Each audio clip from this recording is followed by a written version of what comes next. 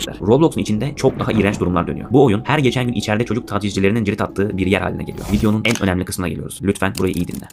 Roblox Kongo oyunları. Sohbet filtresinin devre dışı kaldığı ve sexting yapılabilen bu deneyimlerde karakterler soyunup sanal seks yapabiliyorlar. Sadece yazılı sohbet ile de sınırlı kalınmıyor. Roblox oyuncuları arasında Discord kullanımı çok yaygın. Bu Kongo deneyimlerinin de Discord sunucuları var. Oyuncuların yarısının 13 yaş altı, %22'sinin 9 yaş altında olduğunu düşünürsek de bu platform bazı insanlar için ideal bir avlanma ortamına dönüşüyor. Geçtiğimiz yıllarda Owen Thomas adındaki bir adamın 150 çocuğu taciz ettiği iddiasıyla gözaltına alındığı haberi Amerika'ya salladı. Soruşturma ilerledikçe anlaşıldı ki bu sapık taciz ettiği çocuklarla Roblox'tan tanışıyordu. Daha sonra Discord'dan konuşmaya başlıyor ve onları cinsel organlarının açması konusunda kandırıyor. Kamera karşısında çocuklara bakarak mastürbasyon yapıyordu. Soruşturma ilerledikçe olay daha da pisleşmeye başladı. Bu adamı taciz ettiği çocuklardan 60 tanesi 13 yaşın altındaydı. Dosyada adı geçen 10 yaşındaki kurbanlardan birinin ifadesi şöyleydi. Bana 400 Robux yollayacağını ama önce Discord'da kamera açıp dans etmem gerektiğini söyledi. Bir kere yaşanmış. İstisnalar kaideyi bozmaz diyorsan eğer. Roblox'un karanlık yüzünün bir başka örneği de Mr. Obvious. Bir zamanların ünlü Roblox YouTuber'ı. Roblox tarafından yılın içerik üreticisi ödülü verildikten kısa süre sonra Mr. Obvious hakkında çok çarpıcı bir iddia ortaya atıldı. 22 yaşındaki bu adam kendisine ulaşan bir kız çocuğu ile cinsel konuşmalara giriyor ve ona son yaptığı videolarını yolluyordu. Ve küçücük çocuğu bunları kimseye söylememesi üzerine tehdit ediyordu. Neyse ki kızın ailesi bu durumu fark etmiş ve olayları kamuoyuna taşımıştı. Daha sonrasında anlaşıldı ki bu adamın yaptığı eylem bir tek kızla sınırlı da değildi. Günler geçtikçe çok daha küçük çocuklarla çok daha iğrenç konuşmalara girdiği mesajlar ortaya çıkmaya başladı. Daha işin kötü tarafına gelmedik bile. Bakın şok olacaksınız. Roblox tüm bu iddialara rağmen bu YouTuber oyunundan banlamadı. Mr. Obvious iddiaları reddetti, montaj dedi.